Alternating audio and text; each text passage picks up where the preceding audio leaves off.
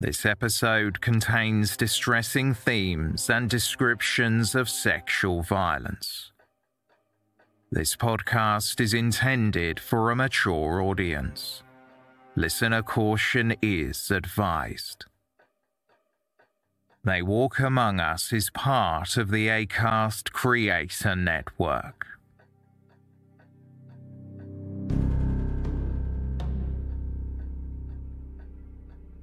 Cinema owner Peter Moore had been arrested for the murder of Tony Davis at Pensarn Beach in North Wales in December 1995. A detailed search of Moore's home indicated that the unassuming businessman had an interest in sadomasochism and other activities that were infinitely darker. After initially denying involvement in the murder, Moore made a late night statement and said he wanted to confess to additional crimes he was not even suspected of committing. When he killed, he wore black Nazi style uniforms and claimed it helped him to dominate and terrify his victims. The 50 year old cinema owner appeared before a judge today to face charges of murdering four men, which he denies. Mold Crown Court heard the attacks over three months last winter were frenzied, sadistic, and vicious. Welcome to Season 8, Episode 2 of They Walk Among Us, a podcast dedicated to UK true crime. Please listen to Season 8, Episode 1 for Part 1 of this two part case.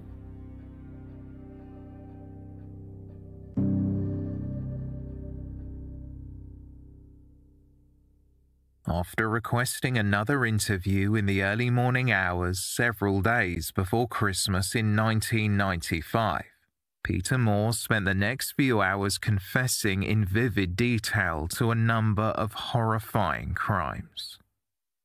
Moore told investigators he had been responsible for crimes as far back as the 1970s, including attacks on men in the Conwy Valley and Pensarn Beach. He also said, I want to admit to both of the murders in Anglesey, the murder on Pensarn Beach, and also I want to admit to another murder that you don't know about, which I committed in the Clocaenog Forest near Ruthin. Peter Moore recalled witnessing an attack in New Brighton 20 years before he began assaulting people. Moore said, it was a truncheon attack on a gentleman in a lock-up cubicle. I observed but did not take part in it, but he got a good battering. The truncheon was soaked in blood afterwards.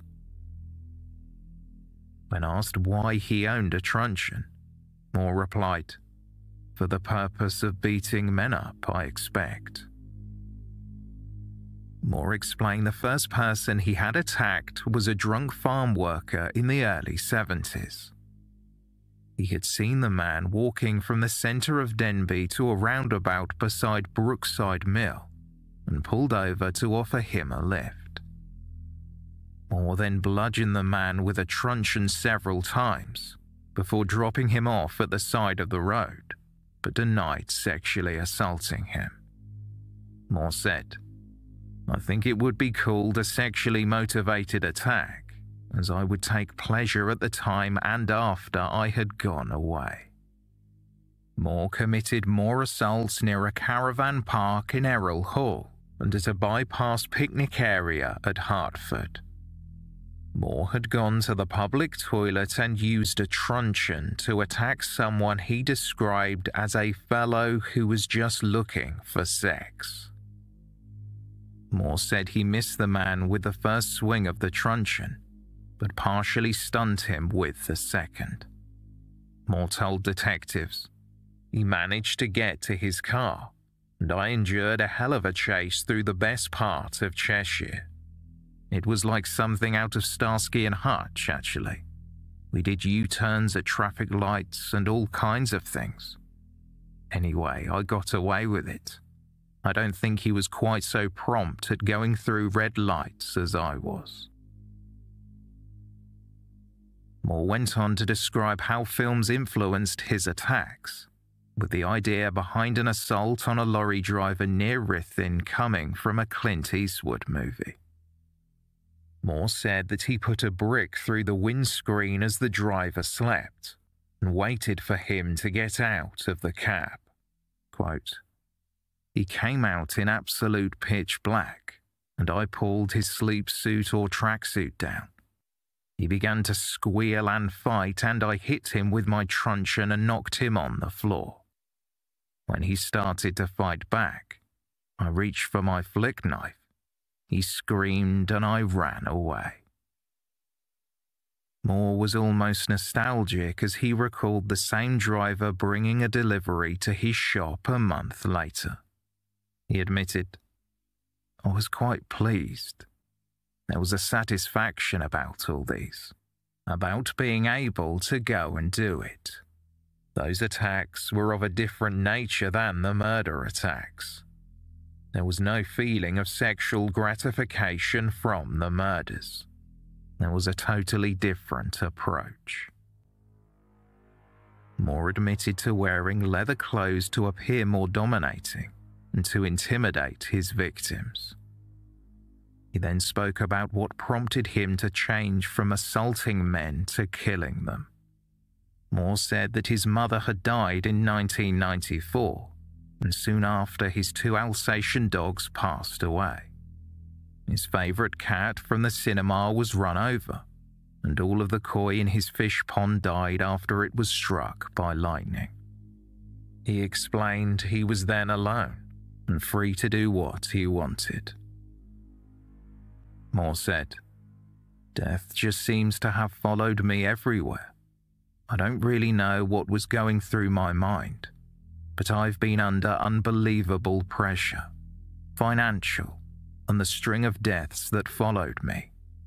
Mum and I were the best of friends. I did my best for her, but I missed her dreadfully. Moore had bought a knife from a hunting shop in Rhyl for £25 around the time of his 49th birthday, and he intended to kill someone with it. Speaking about the murder of Henry Roberts in September 1995, Moore said that he had noticed the isolated cottage in Cwgeliog Anglesey as he drove along the coastal road to Holyhead on his way to work. One day, Moore decided to stop at the house, and Henry came out into the yard and began shouting at the bizarrely dressed stranger that he was not Jewish. Moore explained that Roberts probably thought that he was a Nazi soldier because of the clothing he was wearing. Moore said, I knifed him several times with a knife I bought from Rhyl with the intention of killing someone. I stabbed him pretty well all over. I was alone. After Henry fell to the ground, Moore pulled down his victim's trousers and stabbed him in the buttocks before leaving. He told detectives that he had no regrets about what he had done. Moore then went on to detail killing a man the police had not known about. He said, The next one you haven't found yet. The young man I picked up in Paco's club in Liverpool. I drove him to North Wales, a forest between Ruthin and Cerrig-y-Drudion. I murdered him. His body is in the woods there. Moore described how, when he was leaving Paco's in Liverpool, he was approached by a young man more described as a rather crude chap, very much worse for drink. Moore claimed the man propositioned him and asked him to come back to his house to have sex. The man got into Moore's vehicle, but instead of driving him home, Moore drove through the Mersey Tunnel and kept going through Mold and Ruthin before going over the Denbigh Moors and into Clocaenog Forest. Moore said that the man seemed scared and had tried to get out of the van twice before they arrived in the forest. The man asked Moore if he was a Nilsen type fellow, a reference to Dennis Nilsen, a serial killer who killed at least a dozen men and teenage boys over a five year period. Peter Moore said he gave a chilling one word answer Yes. He then started stabbing the man a total of four times. The victim crumpled to the ground, and Moore calmly watched the man die. He then described the aftermath of the incident in more detail. Moore claimed he moved the body into the forest away from the road, but when he returned to get the man's keys, he was unable to find him. Moore said, Had I found him, I might well have mutilated the body further. Moore gave the detectives a map with the approximate location of the man's remains. It seemed once Peter Moore started confessing, he couldn't stop reeling off his other crimes.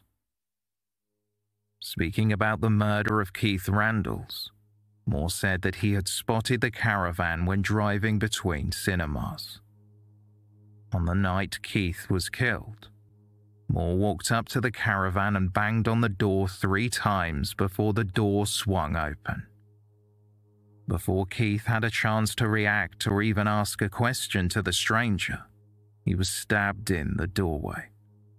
Struggle ensued, and at one point Keith was able to throw the knife away from Moore. Moore said, He was slowing down. He was still fighting with me but I got the knife again and killed him. As Keith lay bleeding on the gravel, he had begged for his life on behalf of his grandchildren. Moore told the detectives. He asked why I was doing it. I said one word. Fun. He just looked nonplussed and carried on screaming. There was a certain enjoyment from it. It was certainly not sexual, but it was a job well done. Moore said he left the scene and went home, but soon realized that his clip on tie had come off in the struggle. He then drove back to Mona in Anglesey to retrieve it, and while he was there, he stole Keith Randles' video recorder and turned his body over. Moore said, I just looked at him and I could see that I had stabbed clean through him. It was quite horrendous, actually. You could see the steam coming out of him in the cold. It didn't upset me. I didn't cry or anything. I was pleased that I'd killed him. I'd done what I wanted to do. Everything I do, I do it properly. It was a job well done. After the admission, Peter Moore went on to describe the evening of December 17th, the night he murdered Tony Davis. Moore said he had driven around Llanrwst and Penman Penmaenmawr looking for a victim before arriving at Pensarn Beach. He said that he saw Tony Davis standing at the water's edge and claimed that Tony had turned around and exposed himself. Moore said. I walked round and looked at him, then took the knife out and stabbed him. He was asked what led to him killing the man, and Moore responded, It's the feeling before when I'm going to kill someone. I've had this feeling on and off before, but I've never acted on it, and I've never had such an intense time. I just couldn't do it until there was impending trouble. And I used to go and do it as a form of relief, shall we say. While it was in my mind that I was going to kill, all I could see was vivid yellow flashes in front of me like zigzags, all the way around, as if I wasn't in control of what I was doing. While I was travelling there, I wasn't in control. I can't explain. I haven't experienced it before, but I was practically blind. My vision went down to probably almost a circle. I know it comes up when I'm under extreme pressure. I don't know. I just don't feel the least bit sorry for anybody. When asked how he felt after killing his victims, Moore said, It was easy, just like a knife through butter. Moore explained that he believed his staff was stealing from him in the cinema and he was being ripped off by millionaires, so he had to get back at society. He said that he was afraid the banks would repossess his house, and he felt like everything was against him personally. Moore would admit that he had planned to allow himself to be caught after killing one more person. He said, I've been treated badly by the bank manager. I'd have made an appointment to see the manager and gone and killed him there and then and waited to be arrested then I'd have told the police what I've been up to. I think that would have been the end of it. Peter Moore's confession was alarming, and the police immediately set off to the location he had marked on a map to look for the unnamed victim they had not yet found. Clocaenog Forest spans over 50 square miles on the outskirts of Ruthin. The expansive woods contain large conifer trees that were planted in the 1930s. On a cold evening in late December 1995, investigators followed Moore's map to a secluded area in the forest and saw a remote track covered in light snow. Home Office pathologist Dr. Waite would describe the lengths he had to go to to find the body. He later said, The scene was almost impenetrable, and I had to use a saw to get to where the body was hidden. I saw my way through the trees. It was hard work, and we only had a small handsaw. On the forest floor, they found the severely decomposed body of a man wearing blue jeans crumpled around his ankles and black trainers on his feet. There were a set of keys on a cord around his neck, but his head and right arm were missing. The lower jaw was located a few feet from the body, and the rest of the head was found a few yards away. Despite the level of putrefaction, the pathologist was able to determine that the victim had been stabbed four times in the abdomen, and his body had been disturbed by predators in the area as it decomposed. With a fourth victim found exactly where Moore said they would be, the investigators then had to try and identify the man Moore claimed he met in Liverpool. It only took a few days for the police to connect Moore's account to a missing man from Birkenhead 28 year old Edward Carthy. Edward's mother died when he was a teenager, so he spent his formative years living with his older sister Lynn and her family. As an adult, Edward, an openly gay man, began to struggle with drug and alcohol addiction, according to news reports. Edward had been left heartbroken when his boyfriend took his own life in the months before he himself was killed. Describing how he would not have hurt a fly, a clergyman who worked at the night shelter where Edward stayed often said, He was a nice, gentle man he was trying his best to overcome his problems. Edward Carthy was last seen leaving Paco's nightclub in Liverpool with an older man who was dressed in leather trousers and a leather jacket in October 1995. When he did not contact his sister for a few days, he was reported missing. Seven weeks passed before Lynn was told that her brother had been murdered. Edward's family and friends were devastated. However, unfortunately, the pursuit of justice was far from smooth, as Peter Moore called for another interview with detectives. And it was then he completely changed his story. Moore told the investigators that he had made everything up to cover for the real murderer, a man he claimed was a friend of his.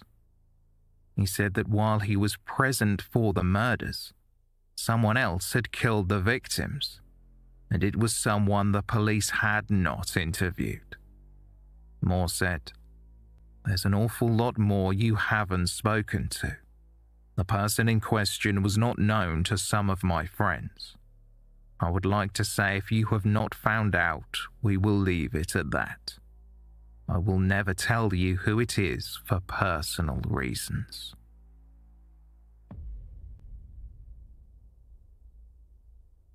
Despite recanting his confession, Peter Moore was charged with all four murders by January 3, 1996.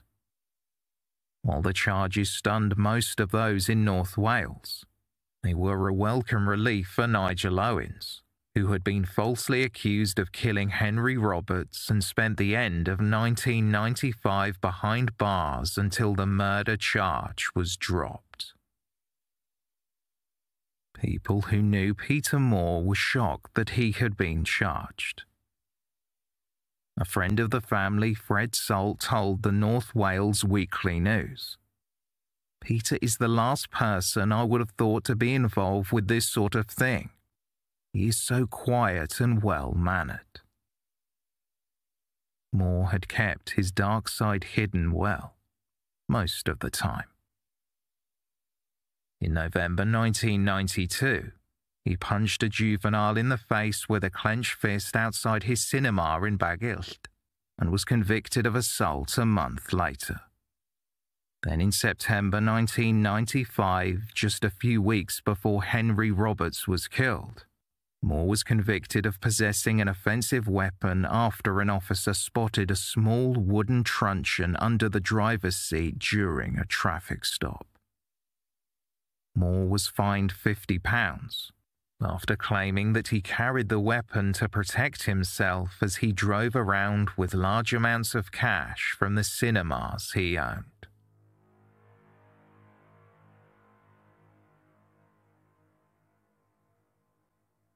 Moore pleaded not guilty to the four murder charges, and while he was remanded into custody, he was declared bankrupt, and his cinemas were closed. Before he was committed for trial, the police questioned Moore about several historical incidents that occurred in the Conwy Valley. Detective Inspector Alan Jones told the Weekly News. I can confirm that police have been investigating a series of attacks in the Conwy Valley as part of the investigations into Peter Moore. There were a number of attacks over a 10 year period starting in the later 1970s but not all of which were in the Conwy Valley. One attack occurred in September 1985 when a 52 year old farmer was hit on the head with an iron bar as he walked along the A5. The man managed to walk two miles home and was found bleeding and suffering from a concussion the following morning. A month later, a similar attack was reported on a 64 year old man at Conwy Morfa.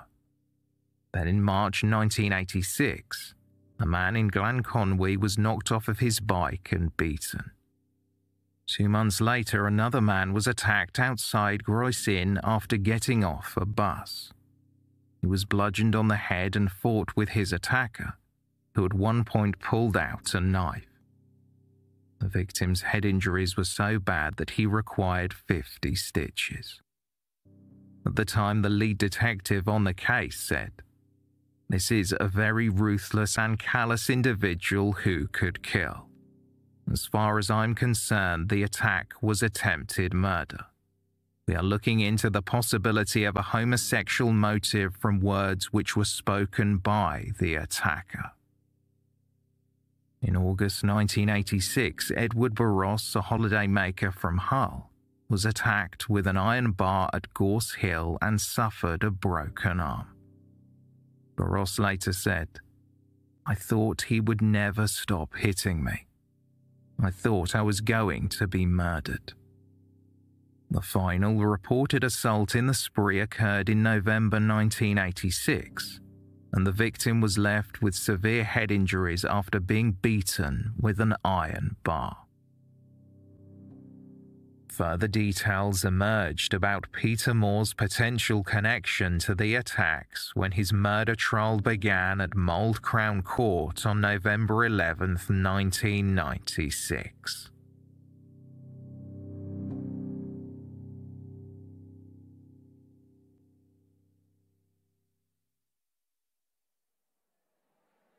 The public gallery was packed when Peter Moore was brought up from the cells to face trial. Alex Carlile QC began his opening address by telling the jury that Peter Moore was a respectable businessman by day, but by night he was someone completely different. Moore was one of the most dangerous people to ever set foot in Wales. The prosecuting barrister said that the defendant had admitted during his police interviews to committing over 17 attacks in a 20 year period before going on to murder four innocent men. Moore was described as being a violent and predatory sadist who dressed to intimidate and scare his victims.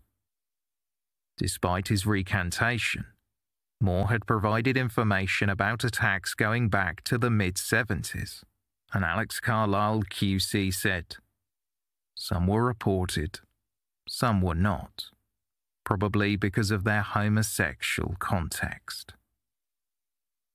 The prosecutor believed that the death of Moore's mother may have triggered an extremely ugly change in the defendant's behavior as he suddenly evolved from opportunistic attacks to murder. Speaking about Henry Roberts' death, Alex Carlile QC said it was a bizarre coincidence that Moore and his victim had a shared interest in Nazi paraphernalia. Carlile told the court, The body was riddled with stab wounds. There were 14 to his front and 13 to his back. He had been subjected to a frenzied attack and had obviously tried to defend himself against the savage onslaught that killed him. Henry's wallet was found in the bushes near Moore's home when it was searched, and a blood-stained swastika flag was found inside. Keith Randles was described as an ordinary, harmless, and conscientious man who was well regarded and although shy, he had a good sense of humour. Alex Carlile QC stated, Poor Mr. Randles' misfortune was to be living on the defendant's route home. At an inquest earlier that year, Dr. Waite had told the coroner that Keith Randles had died from stab wounds to his lung and heart. He had sustained 12 stab wounds with a 7 inch blade and injuries to his left hand. The mess inside the caravan indicated that Keith had fought bravely for his life. Keith's video recorder was found beneath Moore's sofa during the search of Darlington House.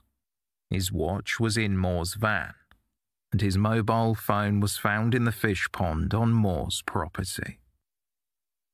Tony Davis's keys were also recovered from the fish pond, and his blood was found on Moore's sweater. After outlining the details of each of the murders, the prosecutor explained that the knife used in all of the attacks had not been washed between the killings. Alex Carlile QC told the jury, I will not show you that knife. It is unhealthy to do so because it has on it the blood of a number of dead men. He bought it with the intention of using it to kill for no other reason than his own pleasure, his own gratification. During police interviews, Peter Moore had said, I don't understand it. I feel not the slightest regret for what I have done. but I feel at peace. The prosecutor told the jury that Moore had claimed to see yellow flashes when he killed his victims. However, Carlile stated, There is no evidence at all of a psychiatric nature in this case. There is no question of insanity or diminished responsibility. The prosecutor highlighted that the defendant had admitted to stabbing a sleeping lorry driver in the leg and told the court, that was the kind of behaviour the defendant was to repeat, but with grimmer consequences. Fortunately, the police were able to arrest him before he attacked his fifth victim. It was to have been his own bank manager. Moore believed his business was in financial difficulties, and the bank manager at the Midland Bank in Abergele had not been entirely fair to him. He was to tell the police he thought that would be the end of the killings, because he would expect to be apprehended. The court heard how Moore had changed his story in his final interview with the police and claimed that someone else was responsible, but the prosecution contended that Moore was simply trying to turn his fantasies into a reality. The prosecutor told the jury this most dangerous of men killed coldly for fun, to relieve tension, to gratify his sadistic instincts. Gesturing to Moore, who sat in the dock in a black shirt, Alex Carlile QC said, Black was his uniform. He was the man in black, with black clothes, black thoughts, and the blackest deeds.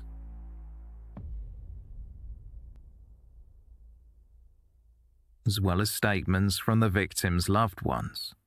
The court heard from survivors of Moore's earlier assaults. A witness referred to as Mr. B testified that he had been drinking at the Ship pub in Pensarn one night in September 1993 and waited to sober up at the caravan park at Pensarn Beach before going home. Mr. B said he had been there for around 20 minutes before he saw headlights approaching, and a man he later identified as Peter Moore walked over to him. The witness told the court. The conversation seemed normal, but towards the end I felt there was something untoward. I did not feel happy, and that led me to tell him I preferred women because I thought he was trying to tap me up for sex. Moore walked back to his car momentarily, then returned wearing a police hat and carrying handcuffs. He told Mr. B he was under arrest. Mr. B was unconvinced, and after being cuffed, he asked to see proof that Moore was a police officer. Moore told him, I'll show you some identification and then hit him over the head with a truncheon. Mr. B managed to run to a nearby caravan for help. After being treated for his injuries at the hospital, he realized £200 had been stolen from his car. Another witness, Mr. J, told the jury that he had been approached by Moore in August 1995 Mr. J was a gay man and provided consent for Moore to kiss him. But then Moore became aggressive, and the victim recalled that the more he tried to edge away, the more forceful Moore seemed to get. Moore grabbed the man's genitals, and as Mr. J tried to grab stones on the ground beside him to defend himself, Moore swore at him and told him, Don't do that before hitting him on the chest and arm with a truncheon. Mr. J said he had been too afraid to report the incident at the time because his family did not know he was gay. Testimony was then heard from a Mr. C, a lorry driver who was attacked in a lay-by near Clocaenog Forest in September 1991. Mr. C had pulled over in the lay-by to sleep as he had reached his maximum driving hours for the day. After dozing off at around 7:30 p.m., he was awoken by a noise that made him think a bird had somehow got into the lorry. He went around to the back of the vehicle to investigate when he was suddenly struck by what he thought was an iron bar. The scar left by the injury was still evident as he testified. Mr. C said that he fought with his attacker, but as he kicked out, he was stabbed in the leg before the attacker fled the scene. Testimony in relation to Moore's initial confession was then introduced. Inspector Geraint Williams told the court that he had been summoned to Moore's cell at Llandudno police station when Moore pressed the alarm bell. Moore had asked for writing materials and spent the next hour writing letters, including one to an associate asking him to take care of his pets, as he intended on making a full statement to the police. Tape recordings of Moore's interviews in which he confessed were then played for the jury before the defense began to argue their case.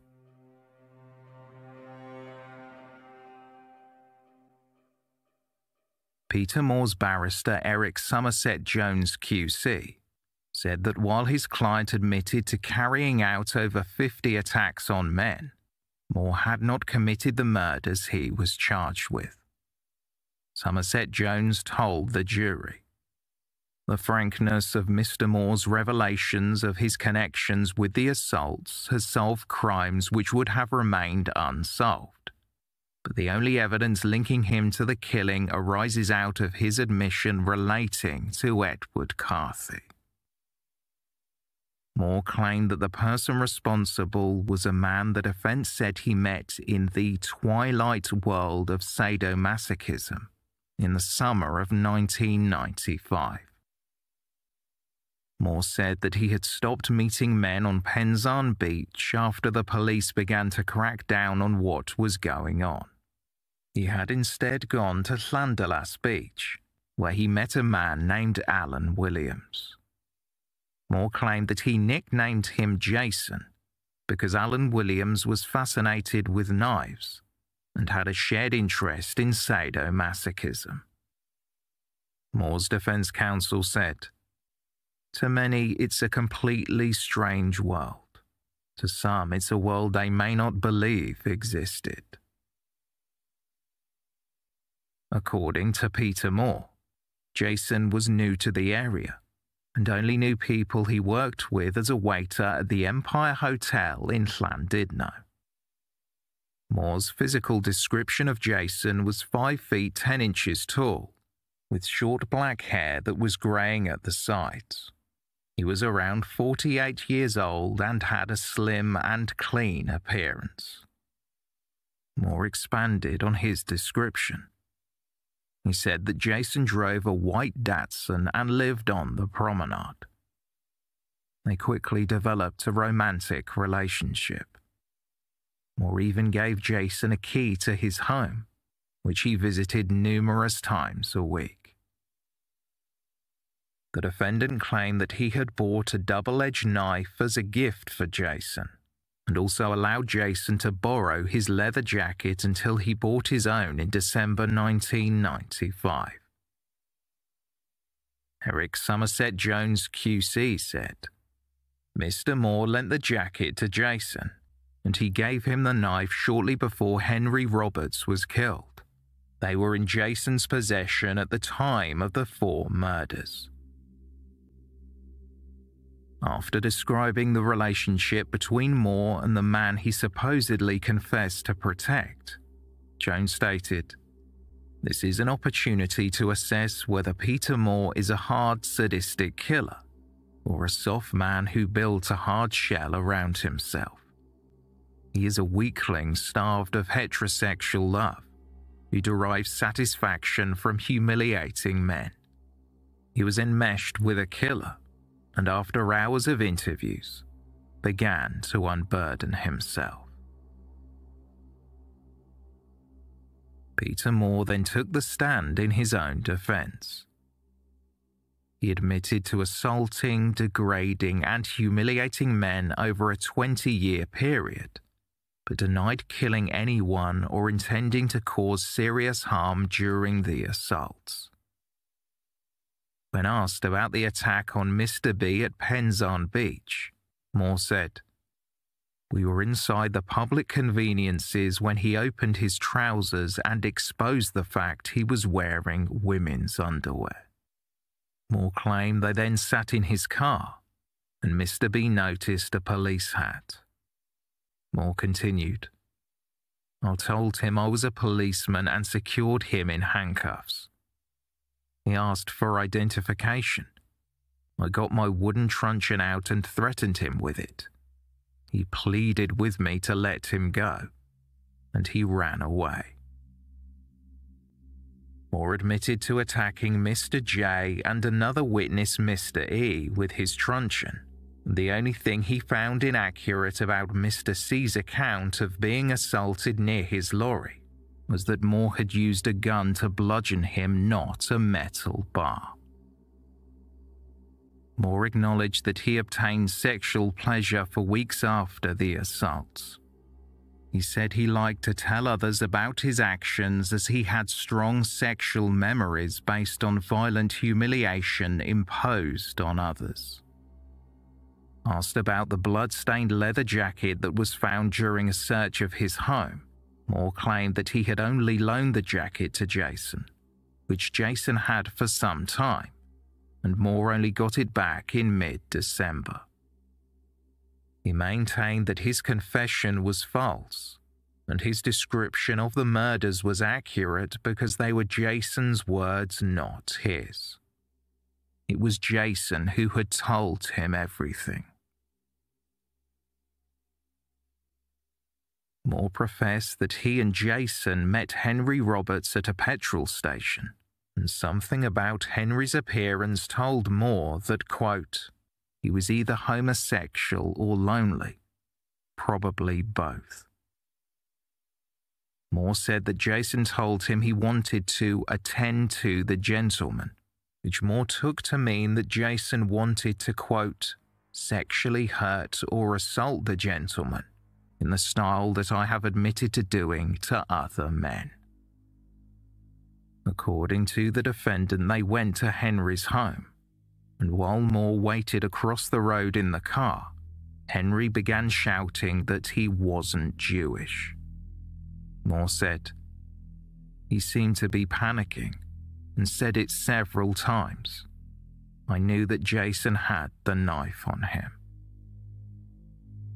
Moore claimed that he heard Jason tell Henry that Henry was going to die, and he had listened to the details of how Henry was killed when Jason got back into the car.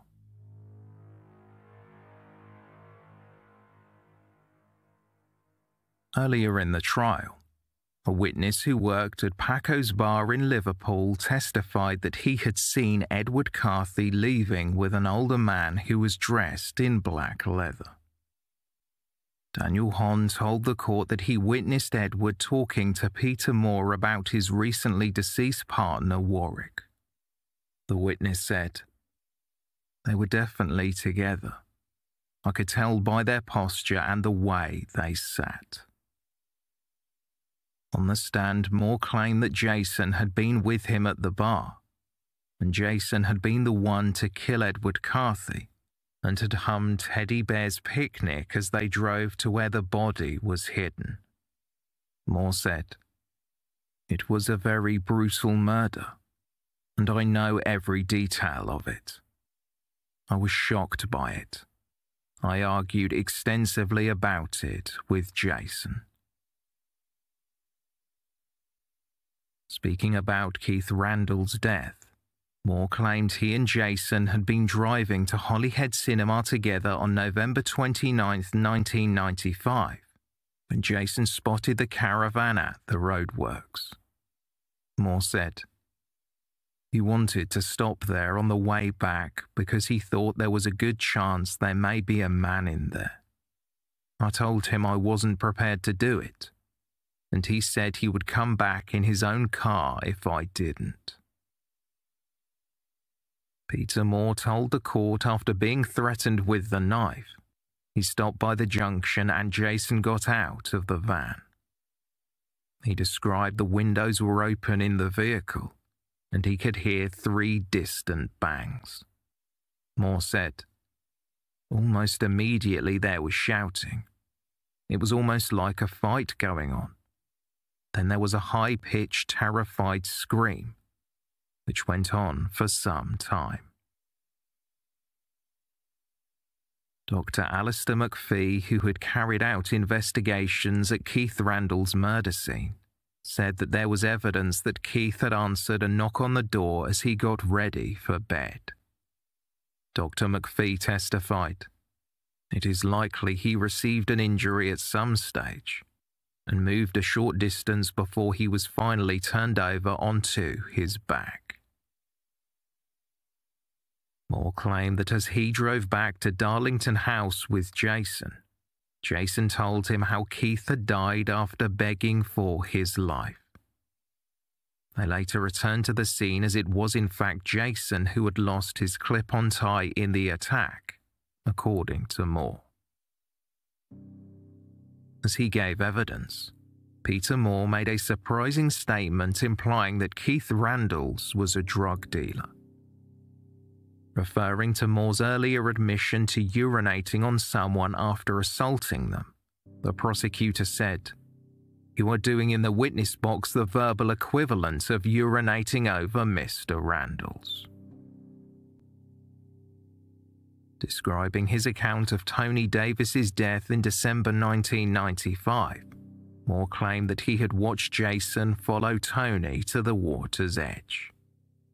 Moore told the court, we knew he was a gay man looking for sex. My thoughts went to murder, and I wondered if Jason had got the knife with him. My thoughts were with the man. I thought he might be in danger. I shouted to tell him to keep away from Jason. I said he's dangerous. In tears as he testified, Moore claimed that Jason came towards him with the knife and knocked him backwards, causing him to hit his head before Jason went over to Tony Davis and stabbed him. According to Moore, he got up and comforted Tony as he died. Moore told the court, I kneeled down and held the man's hand. He said he loved his wife and that he had got two children. He gave me a sigh and died in my arms on the beach.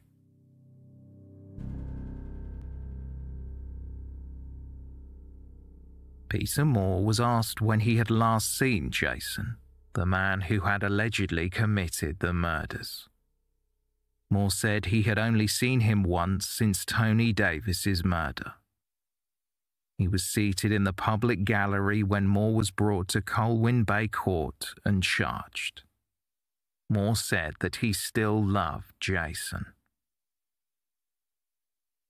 During cross examination by Alex Carlile, QC, the defendant was asked if he was enjoying the publicity. Moore, who had been photographed smirking as he entered the court each day, replied, To a degree. Carlile said.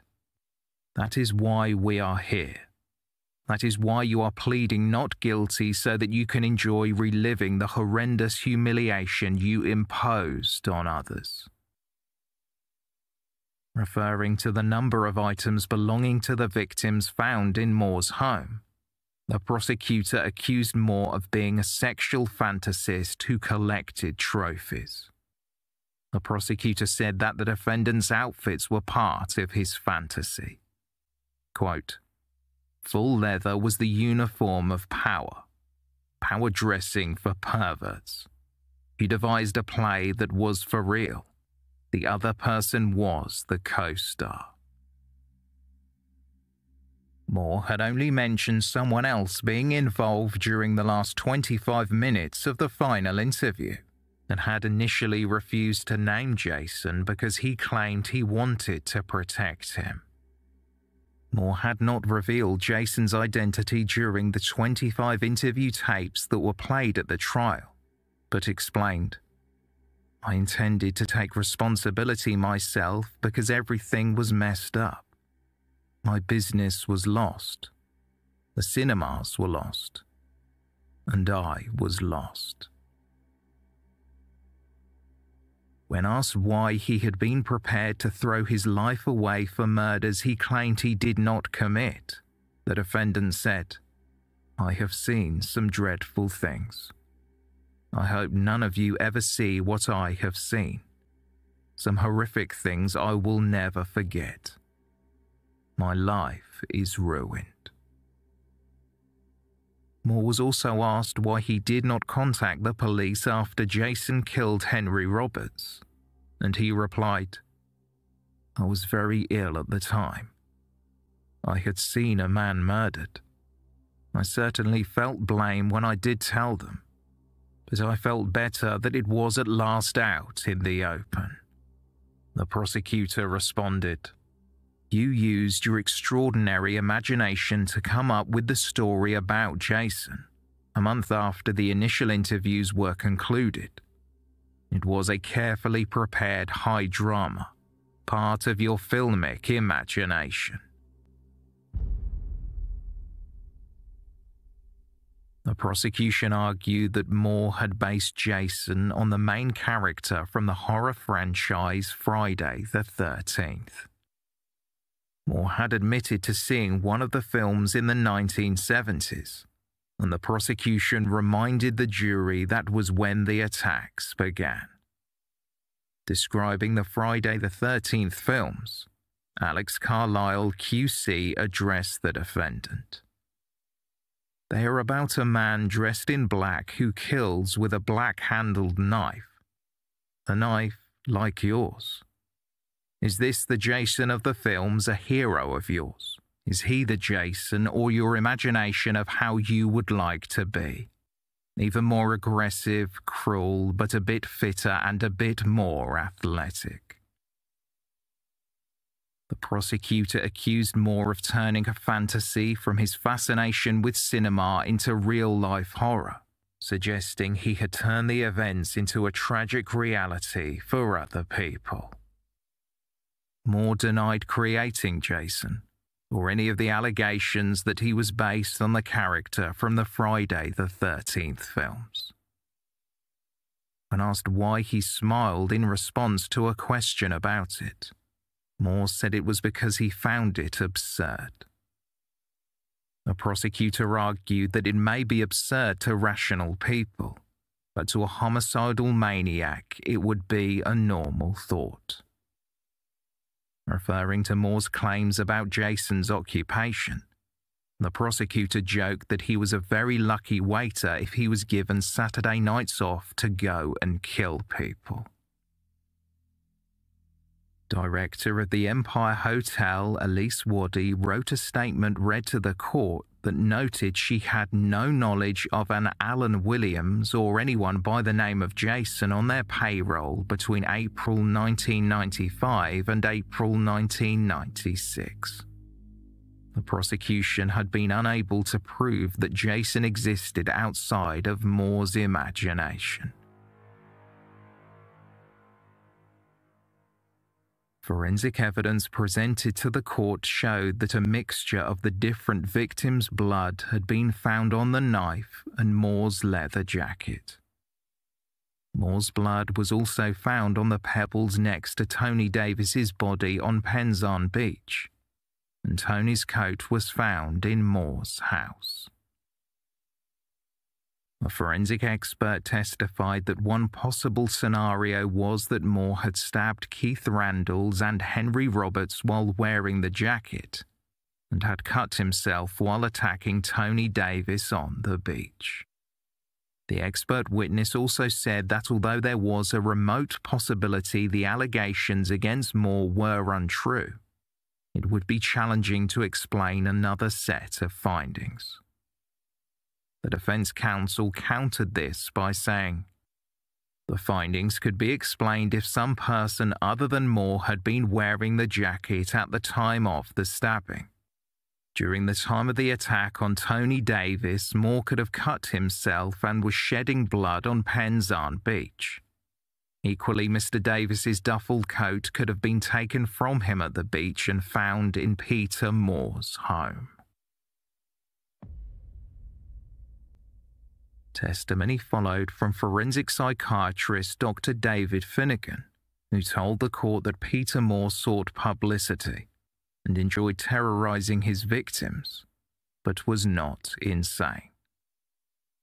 Dr. Finnegan had interviewed Moore in prison and learned that Moore had a habit of going around under the cover of darkness and threatening mostly drunk or vulnerable men before degrading and assaulting them.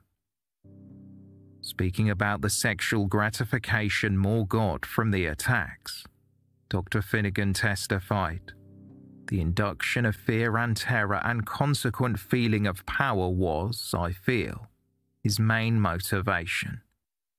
The attacks were always caused by pressure of some kind, even minor pressure.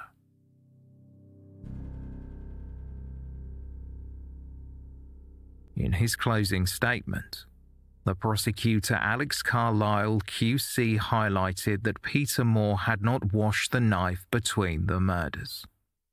He just placed it back into his toolkit in his vehicle, ready for use again. Carlile said, By the time he was admitting these offences to the police, murder had become his craft in succession to his former hobby of bludgeoning men whom he waylaid in the countryside. I submit the evidence is overwhelming that this defendant committed all the murders. Carlile believed it was inconceivable that the detailed confession Moore provided was the description of another man's actions as two of the murders were very similar to two of the non fatal attacks Moore had confessed to. Carlile argued that Jason was a figment of Moore's imagination and that his name came from Moore's obsession with films.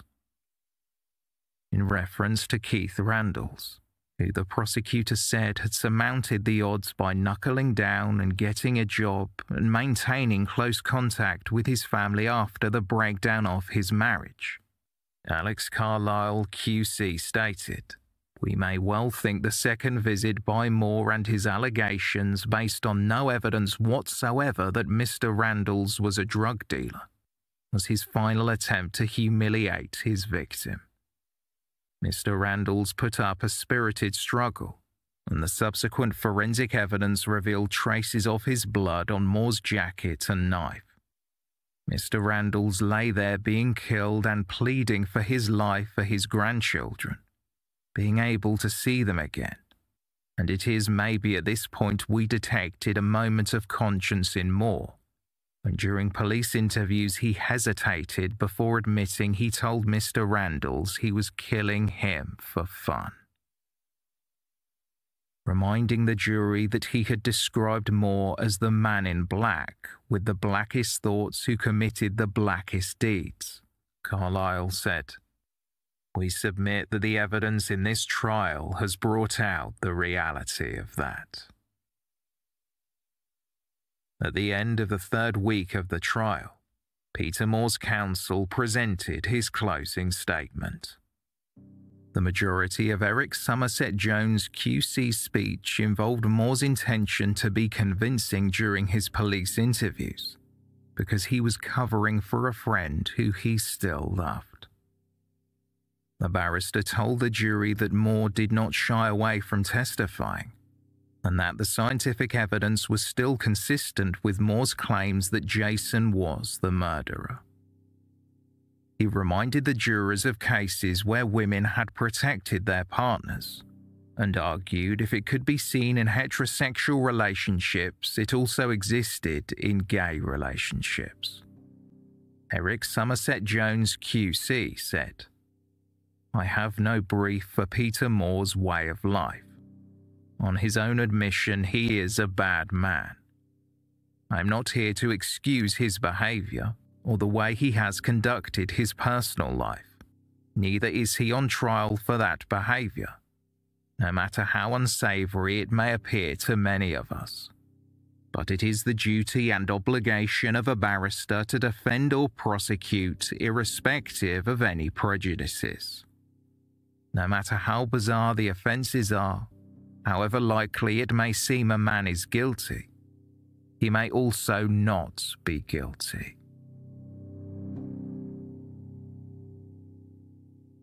A jury of eight men and four women was sent out to deliberate and returned just over two and a half hours later. Peter Moore sat impassively and nodded with a slight smirk as the verdicts were read aloud. Moore was found guilty of all four murders. Peter Moore, the killer who claimed he did it for fun and said it helped relieve stress. In sentencing Moore, the judge, Mr. Justice Kay, told him, I consider you to be as dangerous a man as it's possible to find. It was killing for killing's sake. After the trial, the family of one victim spoke about the verdict. We as a family are now going to try and come to terms with our father's death, which until today we've not been able to do. We feel nothing but disgust for this lowest of life form, and as long as we live, we will never begin to forgive such an evil person. The judge will now recommend that Moore never be released. Peter! Peter! Peter! Peter! As Peter Moore was led from the court, shouts echoed from the public gallery calling him scum and telling Moore that they hoped he would rot in hell. Following the sentencing, Moore gave a statement to his solicitor Dylan Reese Jones, which read, It is with regret and disappointment that I face my conviction for four murders today. I will continue to assert my innocence to these charges, and it is my intention to seek advice as to the possibility of lodging an appeal against my conviction as soon as possible. I knew from the start that nobody could win in this matter. Not the deceased, the relatives, not myself, nobody. Keith Randles' daughter Lisa spoke after the conviction and described how she could never forgive Peter Moore. If he'd shown even a little remorse, it would have been easier, she said but you could tell from listening to the interview tape that he was relishing it. He killed my dad so matter of factly, as calmly as someone reading a book or doing a crossword. Even after hearing all of the evidence, those who knew Peter Moore as their quiet neighbour and business owner who ran cinema clubs for children on Saturdays struggled to reconcile the image they had of him with the man in black described in court. One neighbour said, He was a lovely man, the perfect gentleman. I trusted him so much I would have let my grandchildren walk along the beach with him. I still can't believe he was capable of such horrible things. Another neighbour told the Weekly News. Everyone in the area knew Peter was gay, but nobody ever guessed his past could be so sordid. I just can't believe it.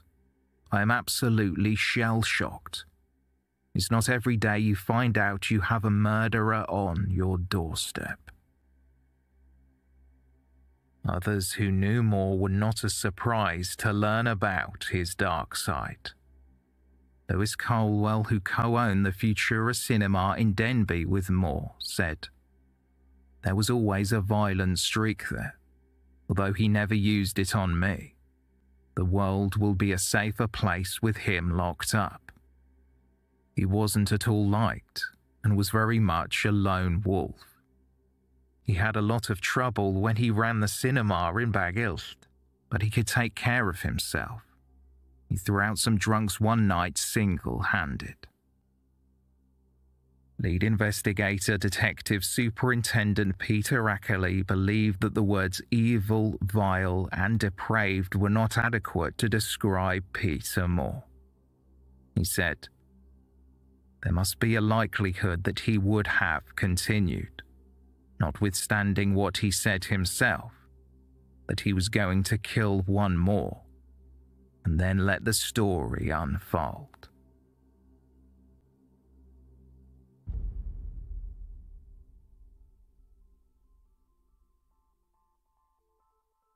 So, where are we now? Following Peter Moore's conviction, activists spoke out about the prejudice against gay men, which had led them to meeting in seclusion, which in turn put them at risk. One anonymous man told the Weekly News There are just no facilities around here for gays to meet so we go cruising in secluded areas. That's always going to give opportunities for killers and blackmailers. The whole gay scene here is driven underground because of all the homophobia. There's just nowhere for us to go. So men go cruising in dark, secluded spots like Pensarn Beach where anything could happen.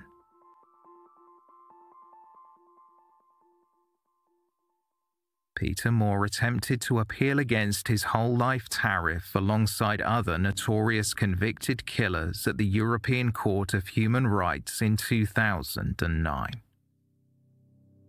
The appeal was dismissed in 2012 as the High Court found that a whole life tariff was required in cases that involve sexual or sadistic conduct, and there were no mitigating features. Peter Moore remains behind bars in Wakefield Prison and will remain incarcerated for the rest of his life.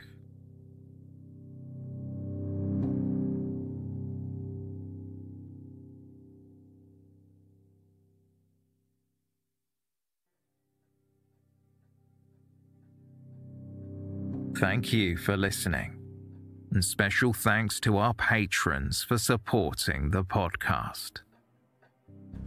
For more information on this episode, please see the show notes or visit our website, theywalkamonguspodcast.com.